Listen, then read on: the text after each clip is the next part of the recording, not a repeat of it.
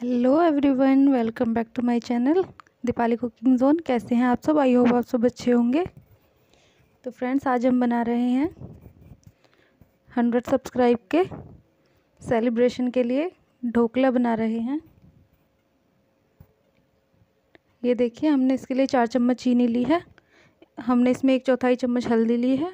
Test के according हमने इसमें नमक लिया है। हमने लिया है आधा चम्मच नमक और एक चौथाई चम्मच हम इसमें डालेंगे सेट्रिक एसिड यानी कि नींबू का सत्त कोई कोई इसे साटरी भी बोलता है। तो हमने बेसन को छान कर ले लिया है। हम लेंगे डेढ़ कटोरी बेसन। इसको हमने पैन में ऐड कर लिया है। और हम इसमें डालेंगे एक कटोरी पानी। डेढ़ कटोरी बेसन में हमने एक कटोरी पानी लिया है। ये मेज़रमेंट बिल्कुल ठीक बैठता है। ये देखिए हमने बेसन इसमें ऐड कर लिया है। हम इसमें अपनी चीनी को भी ऐड कर लेंगे।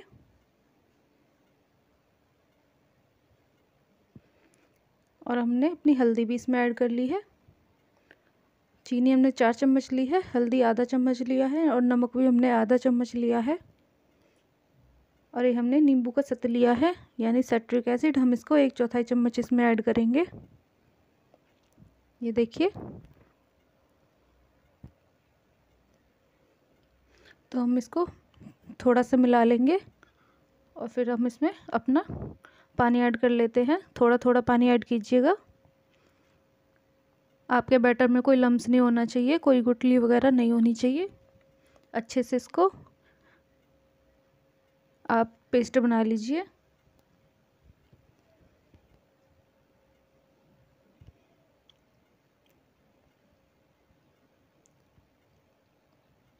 ये देखिए, हमने इसमें थोड़ा थोड़ा पानी मिला लिया है। हमें इसकी कंसिस्टेंसी थोड़ी टाइट लग रही है। हम इसमें एक से डेढ़ चम्मच पानी और ऐड करेंगे।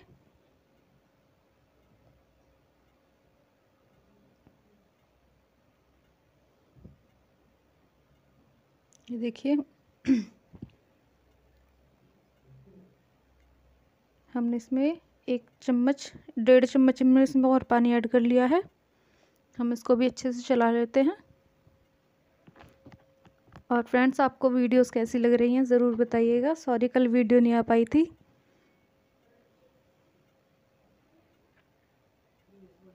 उसका भी एक रीज़न है।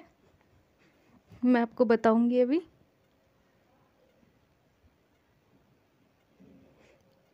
ये देखिए, हमारा बैटर अच्छे से हमने अपना बैटर बनाकर तैयार कर लिया है। देखिए, इसकी कंसिस्टेंसी कुछ ऐसी है।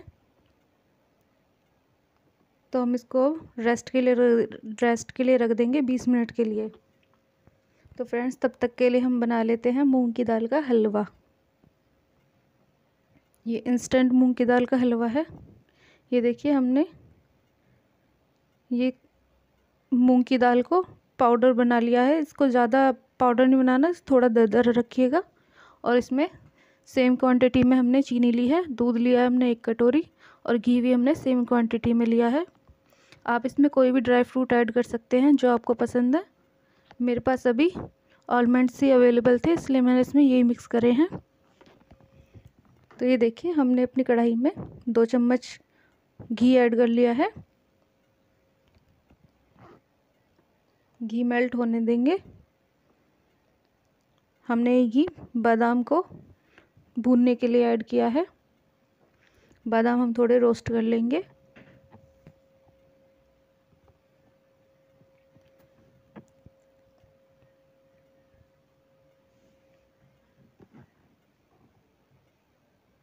ये देखिए, इनको हल्का सा रोस्ट कर लीजिए।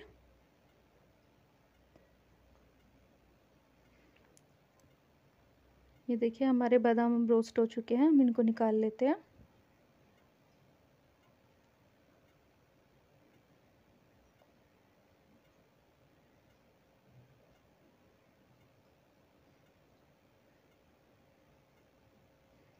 तो हम इसमें थोड़ा घी और ऐड कर लेते हैं।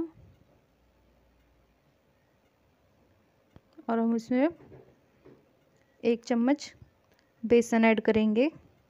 ये ट्रिक अपनाइए। आपका मूंग की दाल का हलवा बहुत टेस्टी बनेगा। हलवाई भी इसे ज़रूर ऐड करते हैं। सिर्फ़ आधा आधा चम्मच से थोड़ा सा ज़्यादा इसमें ऐड करना है। पूरी चम्मच भर के नहीं ऐड करना है। अब हम इसमें अपनी, जो हमने दाल को हल्का दरदरा पीस लिया था, उसको भी हमने इसमें ऐड कर दिया है। हम इसको भून लेते हैं अच्छे से। फ्रेंड इसमें घी थोड़ा कम लग रहा है। आप इसमें थोड़ा घी और ऐड कर लीजिए। ये देखिए।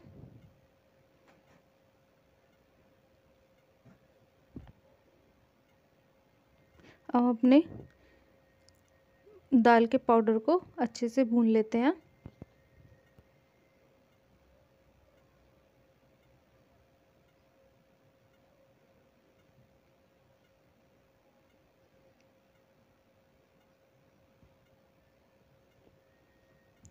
ये देखिए हमारा दाल का पाउडर बुन रहा है।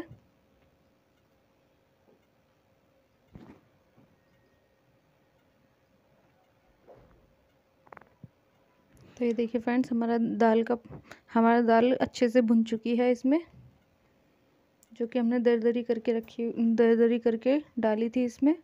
अच्छे से ब्राउन हो चुकी है।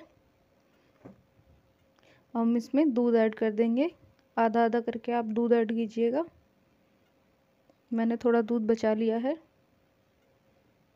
पहले आप इसको अच्छे से मिक्स कर लीजिए, उसके बाद आप दूध को, बचे हुए दूध को इसमें ऐड कर लीजिए।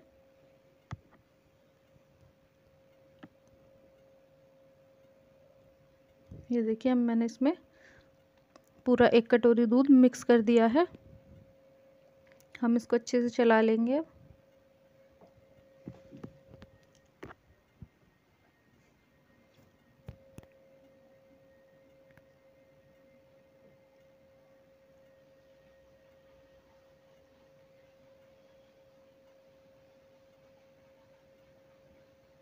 ये देखिए, साइड से चिपक रहा है ये। अब हम इससे अपना घी ऐड करेंगे।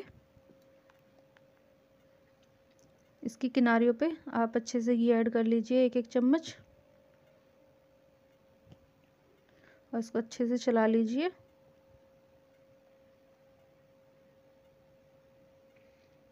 ये देखिए, हमारे हलवे ने कढ़ाई को छोड़ दिया है। अब हमारा हलवा चिपक नहीं रहा है ज़्यादा। आपको उसको अच्छे से भूनना है।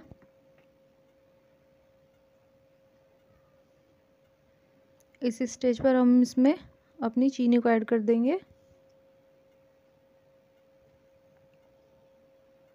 ये देखिए, हमने अपनी चीनी को इसमें ऐड कर दिया है। हम इसे चीनी के साथ भी अच्छे से भून लेंगे। फ्रेंड्स, कल मैंने राजस्थानी राजस्थानी थाली बनाई थी और उसकी वीडियो मेरे से ही डिलीट हो गई थी। तो इसलिए कल वीडियो नहीं आ पाई थी। कोई नहीं, मैं आपके लिए नेक्स्ट टाइम फिर से वो थाली बनाकर तैयार करूँगी और आपके साथ शेयर ज़रूर करूँगी। ये देखिए, हमने इसको अच्छे से भून लिया है।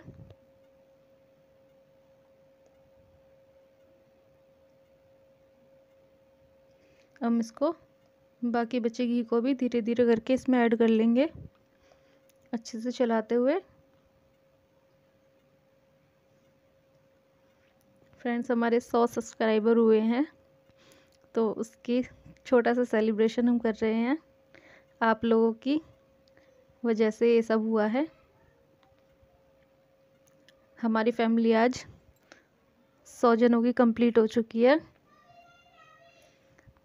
हमारे साथ अपना साथ यूँ ही बनाए रखिए। हमारे चैनल को सपोर्ट कीजिए।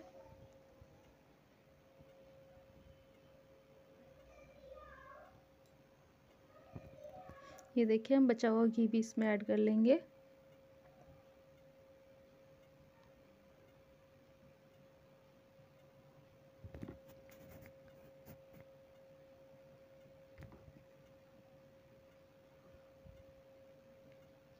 आप लोग हमारे साथ यूँ ही जुड़ते रहिए।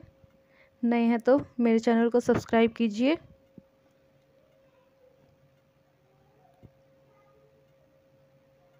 कमेंट करके बताइएगा आपको आज का ये छोटू सा सेलिब्रेशन कैसा लगा।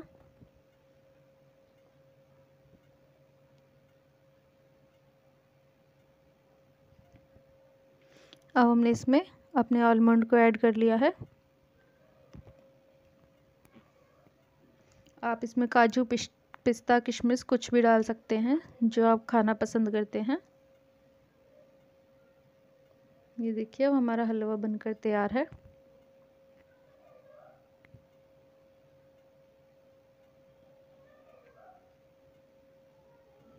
तो ये देखिए फ्रेंड्स, हम बना रहे हैं चाउमीन।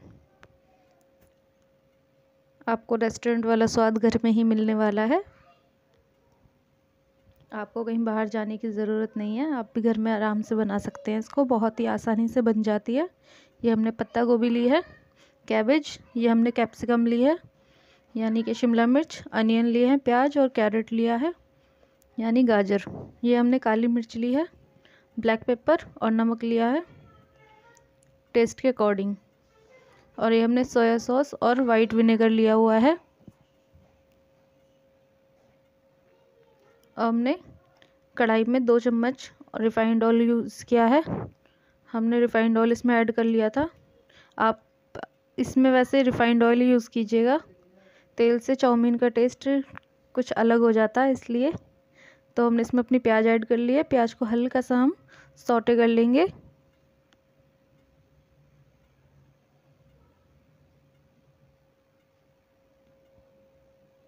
हम अपनी शिमला मिर्च भी इसमें ऐड कर लेते हैं।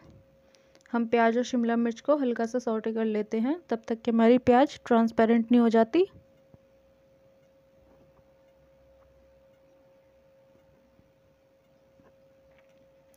ये देखिए, हमारी प्याज अच्छे से ट्रांसपेरेंट हो चुकी है। और इसमें गाजर और पत्ता गोभी को भी ऐड कर लेते हैं।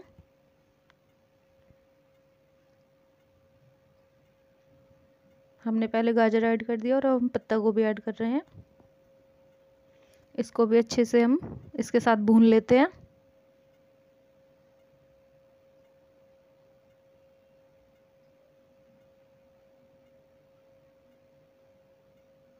इसको सिर्फ़ एक मिनट के लिए भून लीजिए, आपकी सब्ज़ियाँ अच्छे से सौटे हो जाती हैं।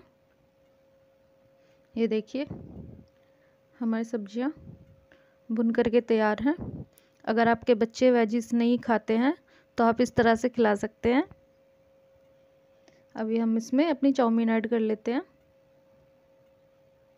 चाउमीन को हमने उबाल लिया था। सिर्फ़ हमने इसको दो से तीन मिनट के लिए गर्म पानी में डालकर बॉईल कर लिया था। उसके बाद हमने इसमें एक चम्मच रिफाइंड ऑयल डालकर इसको ठंडा करने के लिए रख दिया था। इसलिए इतनी खिली खिली हो गई हैं। ये देखिए कितनी अच्छी लग रही हैं। और हम इसमें अपने प्याज और काली मिर्च सॉरी नमक और काली मिर्च को भी ऐड कर लिया है। और उसमें डाल रहे हैं सोया सॉस दो चम्मच।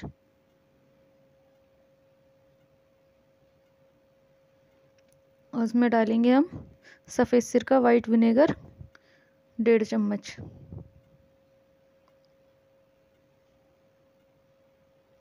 मैंने कैच का यूज़ किया है, आप चाहें तो कोई भी यूज़ कर सकते हैं, जो आपके यहाँ पर इजीली अवेलेबल हो जाए। हम इसको अच्छे से मिक्स कर लेते हैं।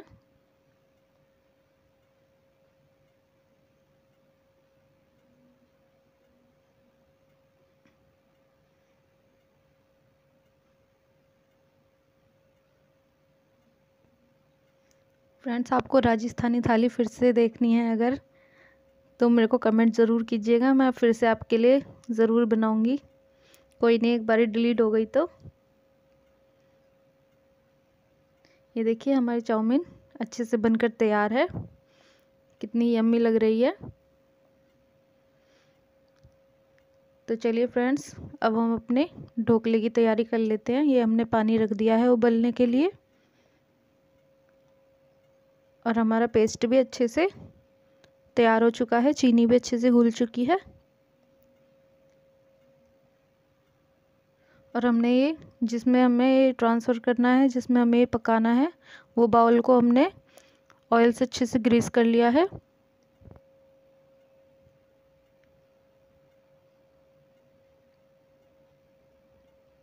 ये देखिए, हम इसमें इनो फ्रूट सॉल्ट डालेंगे, यानी कि इनो डालेंगे। हम इसमें पूरा एक पैकेट ऐड कर देंगे।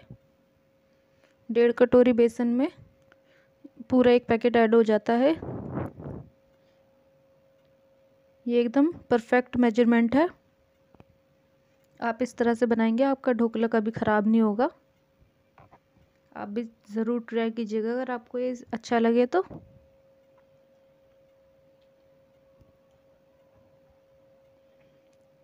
हम इसको अच्छे से चला लेंगे।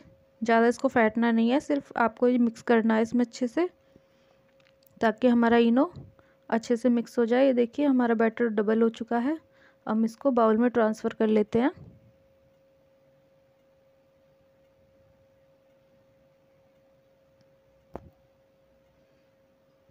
ये देखिए, हम इसको अब इसमें आराम से रख देते हैं। आपका हाथ न जले, आराम से रखिएगा। और हम इसको लीड लगा कर रख देंगे। हम लीड के पीछे इसमें कपड़ा लगा लेंगे कोई। साफ़ कपड़ा लगा लीजिए आप। ये देखिए, हमने किचन टॉवल लगा लिया है इसमें। अब हम इसको रख देंगे ताकि ऑयल वापस से हमारे ढोकले में नहीं गिरे। इसमें भाप बन जाती है और पानी ढोकले में गिरने लगता है। तो इससे आपके ढोकले में पानी नहीं गिरेगा। फ्रेंड्स, आप इसको 20 से 25 मिनट तक मत छेड़िएगा, उसके बाद आप चेक कर सकते हैं आपका ढोकला पका है या नहीं। और हम इसका तड़का बनाकर तैयार कर लेते हैं। तब तक कि हमारा तड़का भी ठंडा हो जाएगा। हमने इसमें डेढ़ चम, डेढ़ चम्मच रिफाइंड ऑयल लिया है। इसमें हमने एक चम्मच राई के ड्राई ऐड करी है और ये हमने चार हरी मिर्च ली हैं, बीच में से काट ली है। इसको भी हमने ऐड कर दिया है।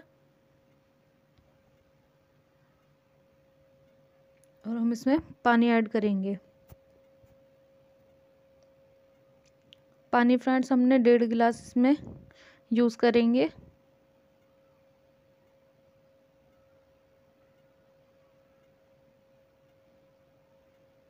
ये देखिए, हमारी मिर्च अच्छे से भुन चुकी है। राई भी अच्छे से तड़क गई है। हम इसमें पानी ऐड कर लेते हैं।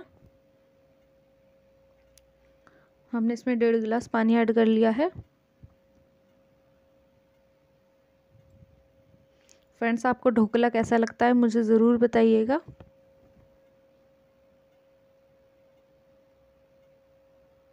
ये हम इसमें तीन चम्मच चीनी ऐड कर लेते हैं।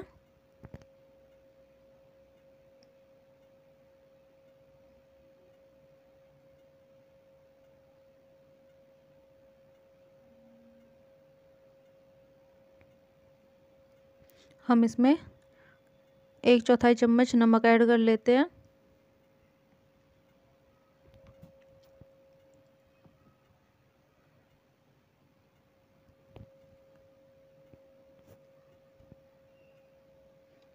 और हम इसमें एक चौथाई चम्मच सट्रिक एसिड ऐड करेंगे।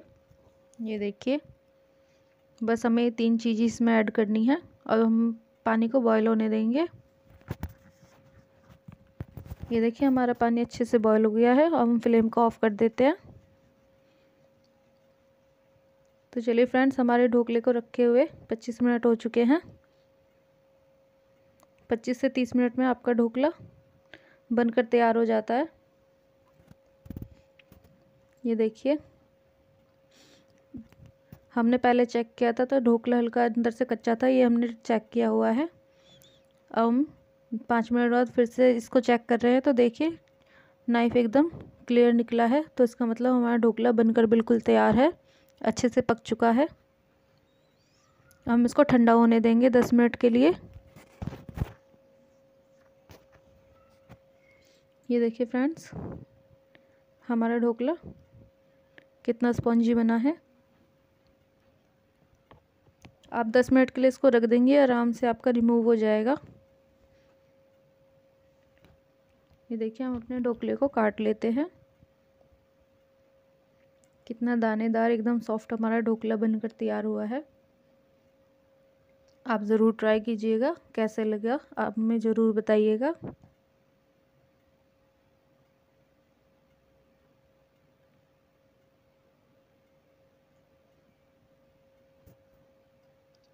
ये देखिए, कितनी अच्छी जालियाँ बनी हैं अंदर हमारे ढोकले में। आप भी इसे ज़रूर ट्राई कर सकते हैं।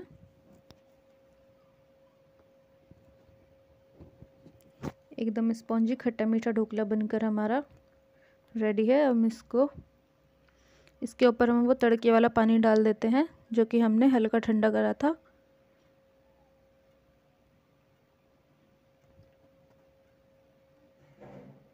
बाज़ार जाने की ज़रूरत नहीं है, आप घर में भी बनाकर खा सकते हैं आराम से। किस किस को ढोकला बनाना आता है और कौन मेरी तरह बनाता है, मुझे ज़रूर बताइएगा। वीडियो अच्छी लगी हो तो इसे लाइक कीजिएगा, शेयर कीजिएगा, कमेंट कीजिएगा। मेरे चैनल दीपाली कुकिंग जोन को सब्सक्राइब कीजिएगा।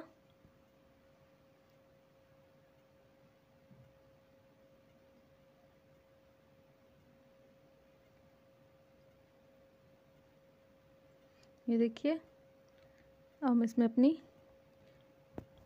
ग्रीन चिलीज़ डाल लेते हैं और हम इसमें हम इसको गार्निश करेंगे हरे धनिए के साथ। ये देखिए कितना टेस्टी लग रहा है देखने में ही और खाने में तो बहुत टेस्टी है। ये देखिए कितना सॉफ्ट जालीदार हमारा ढोकला बनकर तैयार हुआ है। आप भी बनाइए, खाइए और अपना फीडबैक मेरे साथ ज़रूर शेयर कीजिएगा। ये देखिए फ्रेंड्स हमारे सौ सब्सक्राइबर का छोटू सा सेलिब्रेशन आपको कैसा लगा ज़रूर बताइएगा। हमारी तीनों डिशेज़ आपको कैसी लगी? कमेंट्स बॉक्स में ज़रूर बताइएगा। आइए आप भी आकर टेस्ट कर लीजिए। वीडियो को पूरा देखिएगा शुरू से लास्ट तक। वीडियो देखने के लिए धन्यवाद। Thank you